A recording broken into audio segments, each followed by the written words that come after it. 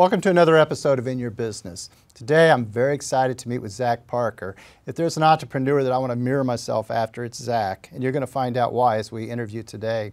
I think he's doing an amazing job in entrepreneurship, and it's way beyond just a business we're going to learn about today. We're truly going to learn from an entrepreneur today. So, Zack, welcome to the show. Thanks for having me. I appreciate those kind words. Well, they're real. And I tell you, I watch you from afar, and uh, from probably the longest I can remember actually watching entrepreneurs, your name was in the mix. Oh, well, thank you so much. Thanks. And, and today, what I want to do is we're going to start with getting to know you, which is what I do on the show. Okay. Um, I'm going to ask you, did you grow up in this area? I did. I'm from Richmond, graduated 96 from Richmond High School. Okay, so you graduated in 96 from Richmond High. You're still in this area. That's right. I know you ventured out a bit. That's right. But when you graduated in 96, um, what happened after that? Did you go to college? I did. Um, so filmmaking is what I wanted to pursue very early on, as far back as I can remember, about 10 years old. Started making movies with my dad's video camera, and that's the only thing I, very narrow-minded, that's what I wanted to do. So I ended up going to Ball State, um, kind of thinking it was a film school, and I think it's become a, a bit more film-friendly, but uh, it wasn't much of a film school when I ended up getting there. Um, so I ended up having to, long story short, try to carve out my own film school while there. Um, my freshman year, I came upon this new student-run um, production company on campus called Cardinal Filmworks, and they were looking to make their first film, and they were taking screenplays, and so I wrote a short film, and mine got accepted for it, and so um, ended up making that in the summer of '97, and that was like really like my first short film I really took seriously, and uh, that was seen by a new professor who had just transferred over from UCLA. Um, and so he saw that and let me into his, we kind of pulled some strings, let me into his senior level directing class. Um, and then after that, after the, would have been my second year at Ball State, he pushed me out west to, uh, to LA. So I moved out there when I was about 19 years old. You moved to LA at 19? Yeah. And, and I got to know about this. What was that experience like? Uh, it was terrifying at first. I don't think I left my apartment for the first two weeks I was there. Now, I was fortunate my mom has been a travel agent my entire life, and she would take my, my, my brother and I traveling a lot. Uh, she would get a couple free tickets in the continental U.S. like per year, and we get to choose cities to go to. So I never had a fear of travel. Uh, I got to study abroad in Japan when I was in high school. Um, got to go overseas, you know, to visit family in Europe. Um, so that didn't scare me so much about the moving away. But when I got there, I was definitely a little overwhelmed by the size of the city and what. Now I'm here. What am I going to do? Um, I ended up like getting hooked up with a. Uh, it was a very weird coincidence. Uh, uh, my brother's friend's dad sold sound equipment to a post-production sound house in Los Angeles, and there was this guy that, that worked there, one of the top people there, his name was Dave Udall. Um, he had done sound mixing for a lot of John Carpenter's films, also Jackie Brown, uh, Starship Troopers. So I got a meeting with him just to kind of like, you know, meet with me and talk to me and kind of give me some direction. And he told me, uh, we talked and he asked what kind of films I liked, and I think he liked that I liked older school film. That I talked a lot about Kubrick, talked a lot about Polanski and Hitchcock and people like that. And so I think he was impressed with my film knowledge. And so he had a personal relationship with Roger Corman, who was kind of the king of B movies. Uh, gave Scorsese his first movie, uh, guys like Jonathan Demme, Jack Nicholson his first movie, you know, things like that.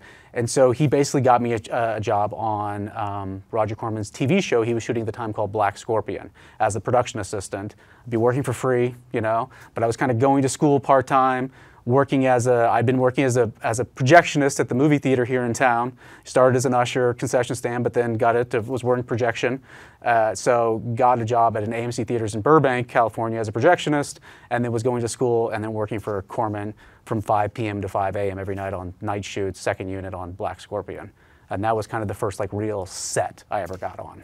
So you said going to school. So did you Mm-hmm. transfer school to? So he he wrote me uh, this this professor Jim Shasky wrote me a letter of recommendation for UCLA. So I ended up going to UCLA Extension, which was kind of this professional studies program for people who were already established within the industry but wanted to do something different. Like say you were a writer but you wanted to be a producer, or you were an editor and you wanted to get into directing. You know, so it was me. I was 19, and then the next youngest person in my class was I think 31 you know? So they were all kind of these established people but it really was my way of, of networking you know? I was really wasn't there to i mean again kind of to learn the logistics. I mean learning directing learning writing i don't know if that those things can really be taught but the networking the relationships i knew that was going to be you know, really important to, uh, to trying to find my way through the film industry. So that's what I ended up doing, was ended up taking mostly then producing classes so I could find people who wanted to be producers so I could get them to produce my things.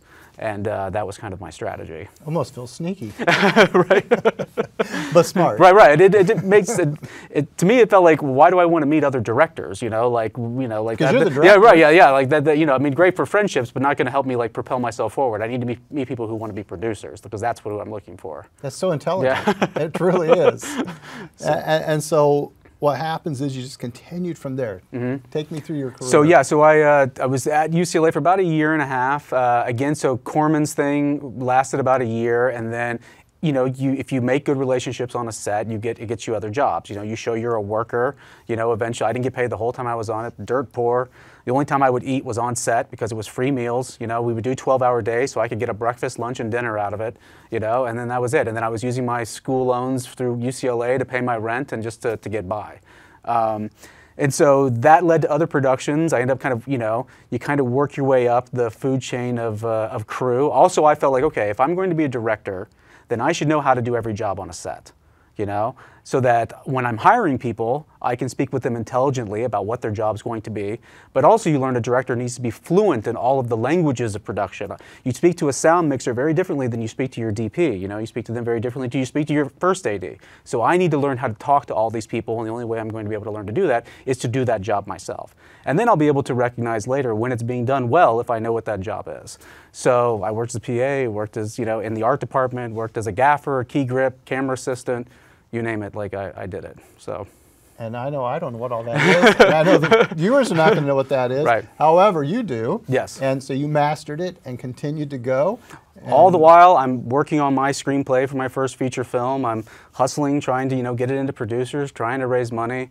Um, ended up so I had a producer that I'd met at, at UCLA who was who said that they had access to all of this money and they were going to get my film made and I moved back here because I wrote it while I was still at Ball State, and I wrote it to take place at Ball State. Uh, so I figured I'd be able to go back to, you know, write what you know, and that's where I was. And so I was writing like a, a little horror film that would take place on the campus. So I came back here to start, we, we, we kind of uh, hired all of our lead actors, and I moved back here to start um, getting my crew together and get the logistics of shooting there. And then I basically get the phone call one day saying, she's not going to be able to find the money, you know, and there, there's nothing there. So then I kind of realized after that terrible phone call, okay, like, I can't expect somebody else to get my movie made. It's my responsibility to get my films made. So I decided to learn how to produce myself. Um, so I took the next year to produce a short film that I made and then a short film that a friend of mine made too. And then the one that I made ended up getting into a festival. Uh, so Sundance, there's the Sundance Film Festival, but then there's about 20 festivals that play the same time as Sundance in Park City, uh, Utah. Uh, so I had kind of a relationship with somebody. I, would actually done projection for this festival called Slam Dunk, which was uh, ranked the number three at the time. Sundance, Slam Dance, Slam Dunk. You know, okay. there was no dance. There's TromaDance. There's everything. You know, um, so I uh, had a relationship with them. I sent them my short film, and it played there um, the next year. So this would have been January 2001. Um, and basically after that, I'd kind of proved to my family and friends back home here that this was something I was very serious about, but also might be something that could be attainable. Because you know, you come from Richmond, Indiana, like nothing could be further away than Hollywood. You know, right, filmmaking, right, right. especially you know pre-internet or anything too. You know, the world felt much larger at that point, um, and so I was able to scrounge up about twelve thousand dollars over the next few months to make my first feature, which I then went back to Ball State set up a collaboration with them to be able to use students on the film, you know, brought in a few lead actors from Los Angeles as well, and then we made my first feature in the summer of 2001. So I would have been 21, 22 at the time, yeah. I'm glad you said that I was going to. I mean, you know, yeah. you just described a lot, a lot of activity right. between being 19 and 21, mm-hmm. and it made it feel like you were 28, okay? but, but yeah, you're 21 years yeah. old. Right you know, I mean, just you have your blinders on, you have that, that tunnel vision. This is this is what I want, and that's all I could think about. All I was working toward, you know, was getting this first film made. It took a lot longer to get it finished because again, this was this transitional time and the digital era was just starting, but the technology wasn't great yet. And the technology that was good was very expensive. You know, you've got Lucas doing the Phantom Menace, you know, on digital, you know, but those are $100,000 cameras. There's no way I'm getting access to those. So um, there's a few like little consumer, slightly more, you know, inexpensive cameras that were coming out, you know, so that's what I was able to get a hold of. And, you know, I go back and look at it now, it's very hard to look at, but, uh, and then getting into editing and then, you know, just, just, there was a lot of like, um, software couldn't really handle the kind of uh, disk space you would need for doing a feature. It was just like it was the technology was being developed as we were going through post production. So it took like a few years just to get the film edited and, and then get it burned onto a DVD, which took four different softwares at the time one to encode, one to make a DVD, one to author, one to burn, you know, like all of these different things. Then find a computer that could actually burn a DVD so you could send to people. So yeah it wasn't a great time in terms of the technology. Try to find one today that can play it. yeah, right. Yeah, no kidding. Right, exactly. I have a whole bunch of DVDs at home from the show. But but yeah, so yeah. so even beyond that, you made a you didn't you make one of your early ones here in Richmond? I've made them all in Richmond actually. I've made all four of my features in and around Richmond. Um, okay. I mean, Ball, even we did a few days on the first film in Richmond, like four days here, mostly Ball State, but the second one was entirely in Richmond, and then uh, the third and fourth was a little bit of Connersville, like hospital over there, you know, um, gun shop over in Centerville, you know, but and then the last one was pretty much just Richmond. Yeah. Okay. Yeah, okay. and now gearing up for the fifth. So this will be my first time branching out of Richmond, you know, and now actually going to New York this time for this one that I'm planning to shoot this summer. So, so in the summer of 23, you're going to be in New that's York right. mm-hmm. filming. Right, that's right, yeah. And, uh, and what does that mean? Is that like a two-week thing? Is that This will be a three-week thing. Um, so we got access to some really good locations that I'm kind of riding around in Manhattan, you know. So, uh, but the thing that gets me really excited about this is we're shooting this one on 16 millimeter film, you know. So this will be the first time I actually get to make something on film film because I just missed film when I got to film school. It was just digital, it just started. Now I got, when on some of those jobs in LA, I, I would get to work on, uh, they were shot on film, you know, but nothing that was ever actually mine, you know, like working as a gaffer where you have the light meter and you know, you don't have a monitor, you just have a, a, camera operator or a cinematographer behind the lens, and they're trusting that you're telling them the proper exposure because you're not going to know until you get that film back from the lab the next day if it looks right or not. So there's a lot of pressure on that, you know, but also an excitement about it too. I can tell. I yeah. can tell how excited yeah, yeah. you are. And yeah. I was really surprised because one day at, at the coffee shop, mm. you were saying to me that you're going to use film. Right. And I thought, why? Right. But then I realized well, how excited you are. Uh, yeah, well, I mean, there's definitely uh, an aesthetic to it that can't be matched with. I think, especially, I was talking to your text. We were kind of geeking out out there in the in the green room about 16 millimeters, which I feel is the most filmic of film. You know, like 35 is almost too clean. I mean, you can get there's a lot of digital cameras that can get really close to 35 these days, but but but 16 has a texture to it. You know, that that can't really be replicated anyway digitally. I mean, there's some filters, but you really can't get that that texture. You know, through digital.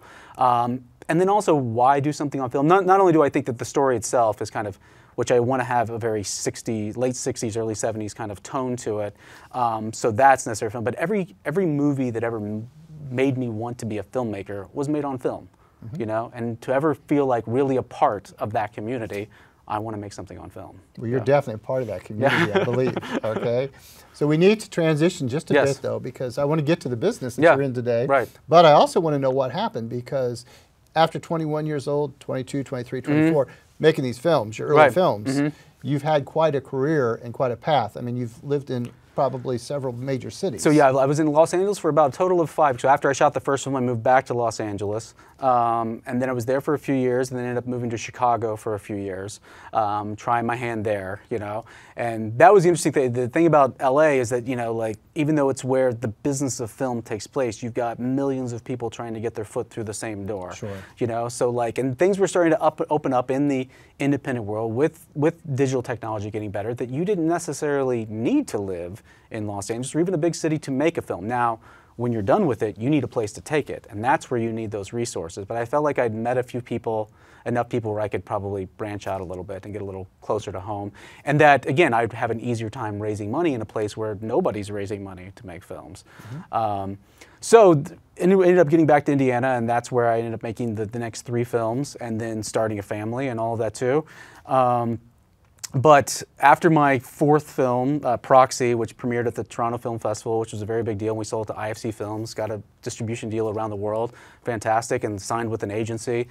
And then I got introduced to the studio world, you know, where I'm doing tours at Paramount and Sony and Warner Brothers and, you know, and all that stuff and being sent scripts. And I learned really quick, I don't like this part of it. Yeah, yeah. Right, I don't fit into this part of it, you know.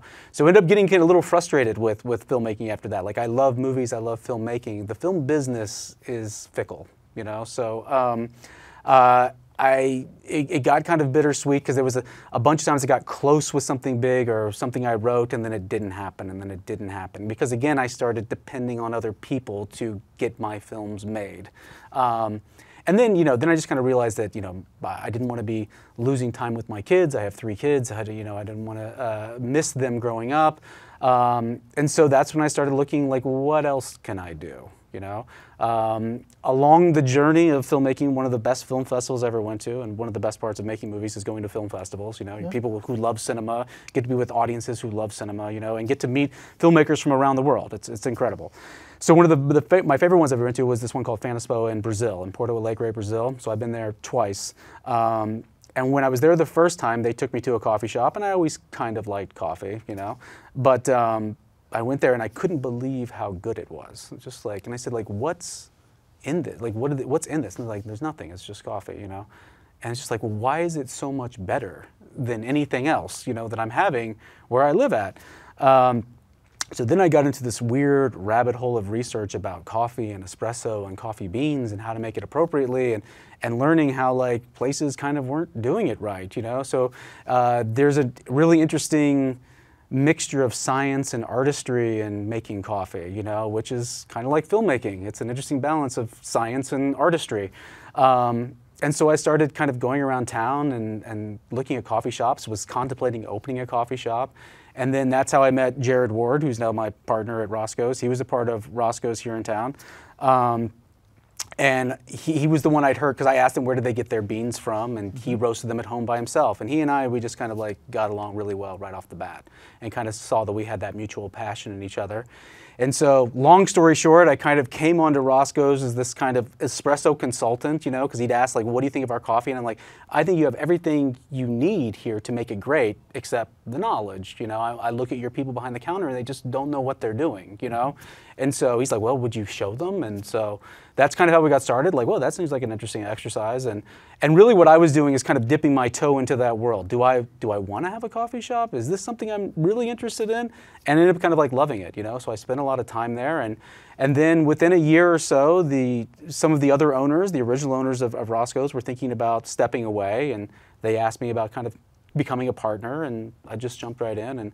With, within probably a year of that later, 2018, um, Jared and I were kind of full-time partners together at Roscoe's, and that was kind of my birth into Roscoe's. So, yeah. so you take you from the filmmaking to the coffee business. That's right. And it brings it from L.A., Chicago, New York, Right. but you're right here in Richmond, That's right. Indiana. And I feel like you're very passionate about that as well. Absolutely. And, and what's really interesting is now Roscoe's had the two locations. They had the Depot District and they had the East Side. Mm-hmm. That's right. Is that when you got involved, or I was still I was involved when the East Side was happening. Um, I had a little bit of say in it, but it really wasn't you know me. Um, definitely when COVID happened, the I mean the East Side was was difficult. That that property wasn't great. Sure, The property owners lived out of state. We had a lot of pothole issues in the in the parking lot. We would hear complaints about all the time.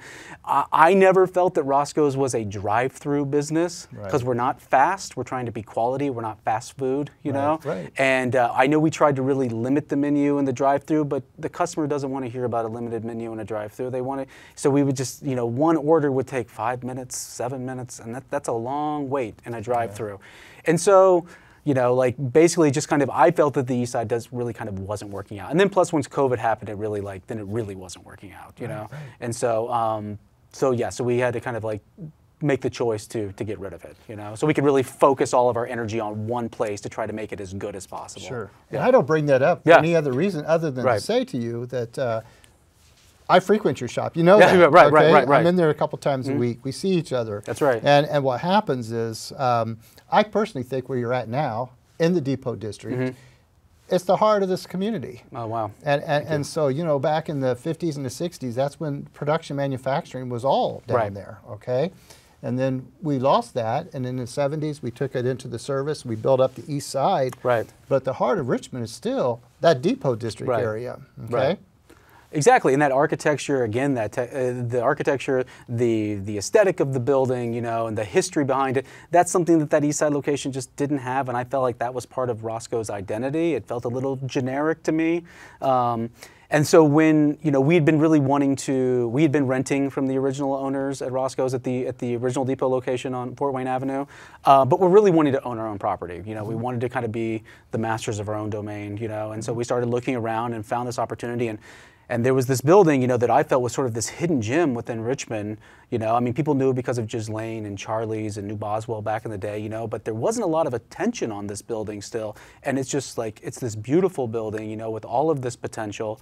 Um, and what I loved about it was that we could take both sides. So both sort of the the former, you know, like uh, the side we're on now, and then the side next to where we have the tap room at now. Mm-hmm. So like, you know, it's always been in our name, Roscoe's Coffee Bar and Tap Room. Well, now we can literally be the coffee coffee bar, the espresso bar and tap room, you know, and then also put our roastery in the back as well too, so people could see it, which is something we always talked about at the Fort Wayne uh, location was getting the roaster downstairs, but it's noisy, it's smoky. Um, you know, it could be a distraction, even though it's kind of cool to look at. So now we have this opportunity where, used, where they used to brew beer at New Boswell to have this pane glass so people can see it on the other side, but not necessarily have be annoyed by it. Mm-hmm. So it just sort of seemed like the perfect fit for us. Um, so I think that the the original owners of that building weren't really looking to sell; they were looking to just lease us the space. But I kind of pitched them this, this vision of like what we would do with it, and I think that they really we're looking out for like the building's best interest or what the what it could possibly become, um, and opening up that corridor between us and Lisa Cakes, which goes all the way down to Lux Lizzie's, you know, which is just like this great, you know, no other building in town has something like that. Right. Um, so it just seemed like kind of perfect. Well, yeah. I can tell you that you know my experience of working with entrepreneurs, whether it be the students, or whether it be the community, I hear great things about what you're doing. Oh, that's great. And and it's funny because it's not just Roscoe's. I mean, you know, it's one thing to say you own Roscoe's, mm-hmm. your partner and yourself, you know, you do a great job there, but what else you're doing for entrepreneurs? That's the thing. right. That building, mm-hmm. you're doing a great job. It's, it seems like it's in great, you know, condition. Right. If something does need repaired, you repair it. Right. I see you when they're working. I right. Mean, you're not you're not shy. Well, so, well, something that was interesting to us is that like so there is a, a, a, great salon and spa within the building on the second floor and partial of the fourth floor. That kind of came with the sell of the building. Okay. So we are the owners of that salon and spa as well, you know. But the first thing I kind of said is to all of the all the beauticians and massage therapists, like, listen, we're you're all you know your own business owners. Now we're not looking to interfere with your business. We're just here to facilitate anything you need, make sure you have what you need to to run your business successfully. You know, but I'm very hands off with all the other business owners because that's how I would want people be, to be with me. You know, they all have their own autonomy. We're just right. there to maintain the facilities for them to make sure they can be a success. You know, so and then we have the yoga, the yoga um, Journey Yoga Studio in there too, which is fantastic. And so we just have these a lot of great businesses within there. So I love that it's just a building, yeah, like you said, of, of entrepreneurs. Which it is, is great, and that's exactly what it is. It's it's. I've been around the U.S. and I've I've seen all these different places that have tried to create environments where entrepreneurs come together, mm-hmm. and it's not always successful. Right. Okay. They want it to be, mm-hmm. but it's not. Whereas yours has been the opposite. You've not gone out and said, "Come right. here and make us this hub." Right. It's just happened. It's just I mean, happened. Yeah, it's kind of organically. We've been very fortunate in that way. And now we have this Airbnb that we've we've we renovated one of the apartments on one floor, and we're working on a second one right now. And so we're trying to create this unique package as well, where you know if you come and do a stay with us, you get discounts at all the businesses in the building. If you tell us ahead of time, we'll put you in touch with a stylist. If you want to get your hair done, you want to get your nails done, you want to get a massage. You know, like trying to create this nice little package that I don't think any place else in town can kind of offer. So where did you get this? You said your mother was a travel agent, right? right, right. Did you learn some right. of this from her? I mean, you know, I guess what people are looking for when they travel, you know, you want amenities, you know, so that's why we call it like an historic building of modern amenities, mm-hmm. you know, so. well, kind of I, I know I enjoy it, and yeah. I certainly enjoy you, and I think it's it's amazing the stuff you've you've accomplished, and you continue to accomplish. Mm-hmm. Now, now you're raising your children here in the Richmond community, mm-hmm. and and you're certainly giving back to the community through what all that you're doing every day. Mm. Um, I think it's interesting, and I've mentioned to you mm-hmm. that it seems like your staff mm-hmm. there at Roscoe's are, right. are incredible. They, they are. they really job. are. Yeah. And you know, when you mentioned the salons and such, and you just want them to be able to run independently, and, and it's not yours, mm-hmm. it's theirs. Right. I feel that in a coffee shop as well. Absolutely. I mean, we've been very fortunate with our staff. Again, like we, it's important for us for our people to care about the place, you know. But I, I always tell them, you know, that all of their individual personalities is what gives the place its personality. So I want them to be able to express themselves, you know, as you know, as long as we're keeping it appropriate and everything. Because we all, I always have to remind, them, don't forget we're serving food here, you know. Right, right. But um, you know, like we always feel like we're kind of a not only kind of a place for misfits, but we try to be a neutral place too. You know, like I don't I don't think you see any kind of like one common denominator demographic at Roscoe's, and that's Right, kind of what I love about it the most. I want to be a neutral place for everyone. You know, so. Well, and I feel like, you know, one of the things I love about being at the university is the students. Right. And I work with students in every way. Mm-hmm. But what's interesting is when I do get away from the university, coming to Roscoe's is one of my favorites. and it, it just feels like I'm right at home there. Right. And I do feel like there's something there for Right. everyone. No matter what it is you're looking for, you can find it. and I love hearing that because that's exactly what I was trying to create for myself. You know, like people always say when you get into filmmaking, people always say, you know, you want to make a movie that you would want to watch. You know, well, I wanted to create a coffee shop that I would want to go to. You know, and you just hope that there's enough other people out there that kind of have the same mentality. Well, I think you're achieving what you wanted to do. One thing I would like to ask you, because you've been an entrepreneur, it sounds like, since you were just a young kid, Mm-hmm. okay? What do you enjoy about entrepreneurship? I guess the creation of things, you know, like I, I really like projects. I like to stay busy, you know. I make, staying productive makes me feel really good, you know. It's tough for me to take, and maybe that's to my detriment as well. It's tough for me to take breaks, you know.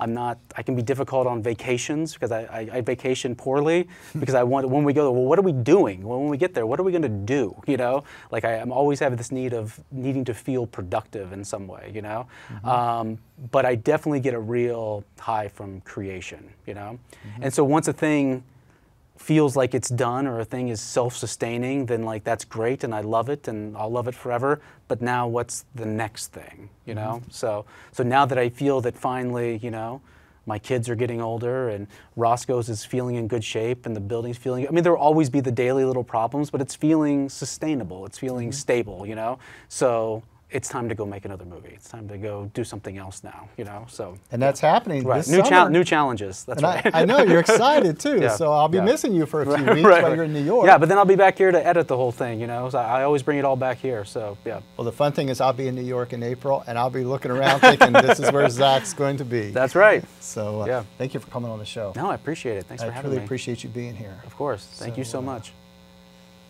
This concludes another episode of In Your Business. I'll tell you, I was so excited today to, to just be able to do this interview because from afar, I've been watching Zack Parker since he graduated high school. And I thought it was interesting because back then I really didn't know anything other than a name. I kept hearing stories about what he was doing, and I kept thinking, oh, well, let's see how it works. And I feel like it's been all these years later, I'm still watching him and just to see how it works, and it works well. And so, again, just as I said in the beginning, I'm going to say again, I love mirroring this entrepreneur. He's an entrepreneur in every way, a well respected entrepreneur. Thank you again for watching In Your Business.